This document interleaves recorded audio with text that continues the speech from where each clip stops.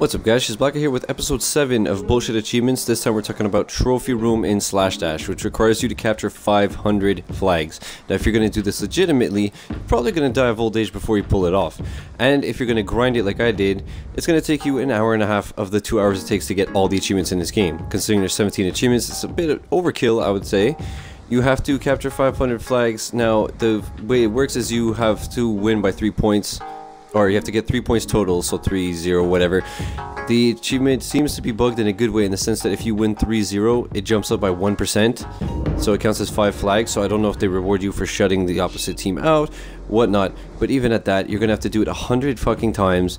It's gonna take forever. It took me, like I said, an hour and a half, and it's just the most boring thing in the world, as you can see on screen.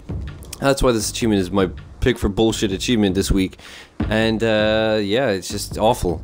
If you guys like this video, hit like, hit subscribe. If you have ideas for achievements you consider bullshit and would like me to cover, leave a comment and I'll try to record it. Thanks for watching. Ciao.